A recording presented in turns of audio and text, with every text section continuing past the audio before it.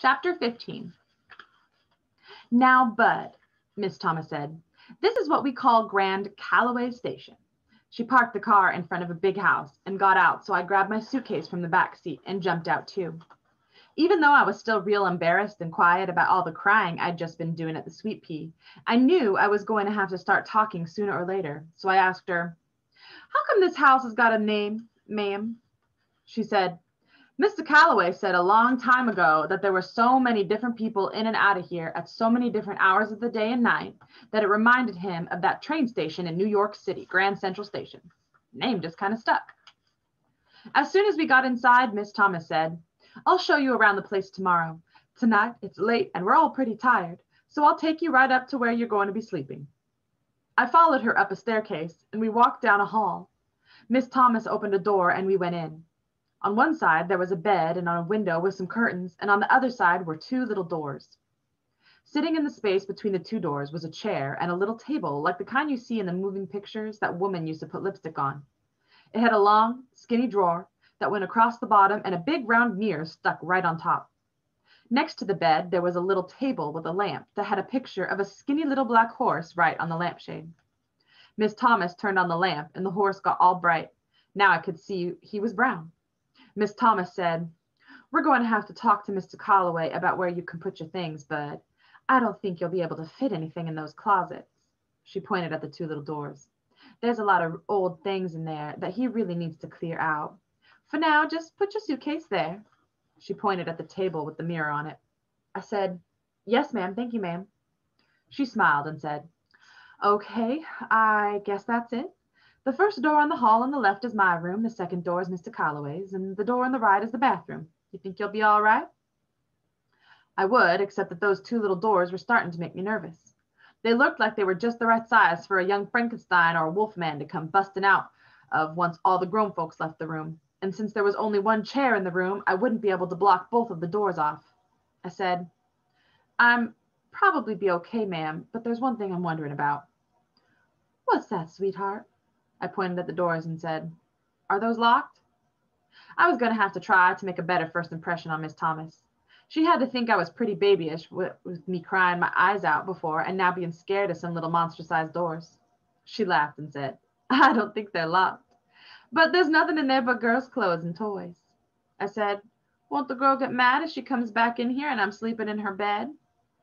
Miss Thomas waited a second, like she had to think. She finally said, no, Bud, I don't think you have to worry about that. She's gone. Uh oh. That was two things to get nervous about in one sentence. The first thing to worry about was rules and things number 547 or something. That was the one about when adult tells you don't worry. The second bad thing was Bud Caldwell's rules and things to have a funner life and make a better liar out of yourself, number 28. That was a real short one. Gone equals dead. I don't know why grown folks can't say something someone is dead. They think it's a lot easier to say gone. That meant I was going to have to spend the night in the room of a little dead girl. I could jam the chair up against that one door's knob and I'd have to scooch the table with the mirror over up against the other one. I don't buy it when people tell you that the closets are the only way a ghost or monster can get into your room. Shucks, I'd bet you they got way, ways to come up from under your bed, or if they want to get at you real bad, I bet they can even slide out of a drawer that you think is shut good and tight.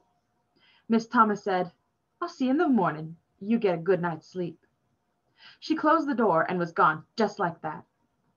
Before you could say Jack Robinson, I had the chair jammed up underneath the one doorknob and was trying to figure out the best way to push the dresser thing when I heard some loud voices coming from across out in the hall. It was Herman E. Calloway and Miss Thomas going at each other pretty good. They argued back and forth, so I sat on the bed and put my suitcase in my lap, hoping that Mr. Calloway would win the argument and they'd give me some other place to sleep. I can never get why grown folks will put a kid all alone in a bedroom at night. It's just like they give the ghosts a treasure map, and instead of there being a big pot of gold where X marks the spot, there's some poor kid that's sound asleep. The door banged open, and Herman E. Calloway stood there huffing and puffing like the big bad wolf, only with his belly it looked like he'd already eaten the three little pigs. I wasn't too worried because I could see the toes of Mrs. Calloway's shoes in the doorway. Herman E. Calloway looked at me sitting on the bed and rushed over to the first little closet door. With one mighty huff, he swiped the ghost blocking chair away and stuck a key in the lock. Then he stomped over to the other closet door and locked it too. He kind of whispered so Miss Thomas couldn't hear. You've got the rest of them fooled, but not me. There's something about you I don't like. I'm going to find out what your game is, and believe me, scamp, you're going back where you belong. He stuck the key back in his pants pocket, walked out of the room, and slammed the door. The door wasn't even done shaking from being slammed so hard when it jumped open again. Herman E. Calloway pointed a finger at me and said, And you better not do any snooping around this room or anywhere else in this house. I know where every single thing belongs, and I can tell right away when something's missing. I've got little secret bells all over everything.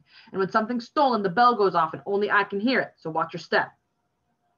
The poor door got slammed again. Miss Thomas said, You know, Herman, half the time I don't know if I should laugh at you or just feel sorry for you. What Herman E. Calloway said reminded me of what they used to tell us when they'd take us kids from the home to the YMCA to go swimming. Before we'd start swimming, the white lifeguard made us sit on the edge of the pool with just our feet in the water.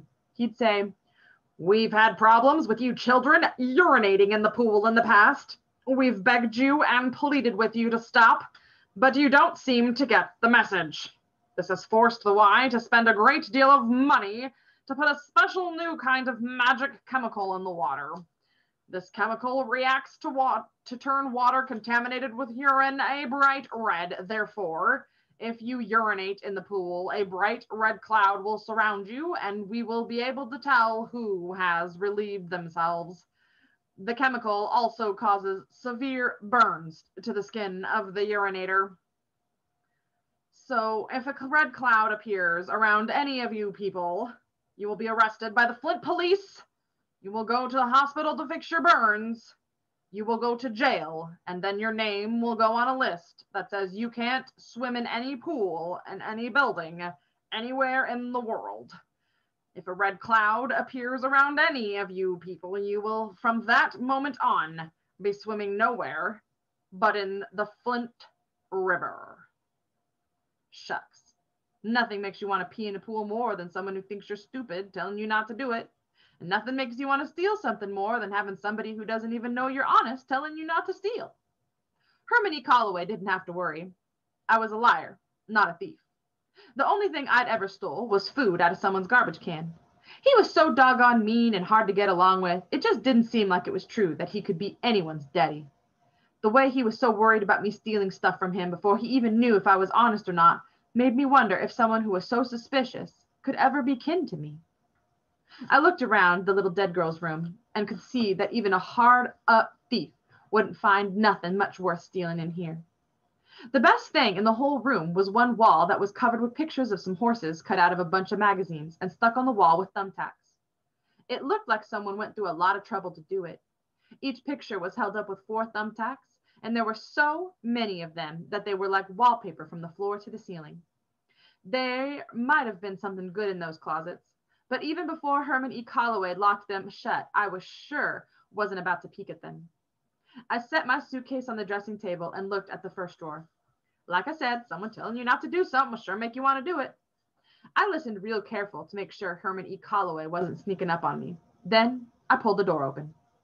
There were three boxes of thumbtacks and one of those doggone Ticonderoga pencils. Looking at it made me smell rubber all over again. I walked over to the bed and sat on the edge and flopped back onto the mattress. Man, it was the softest thing I'd ever felt in my life.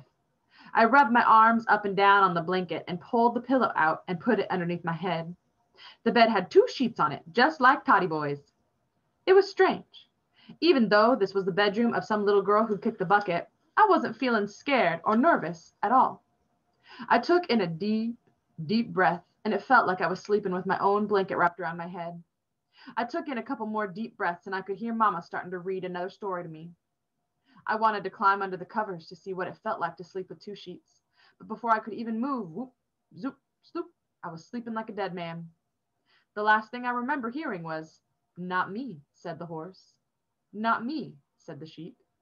Not me, said the werewolf. I knew I was going to have a great sleep because even though a monster had gone and snuck himself his, himself into the story, I didn't care.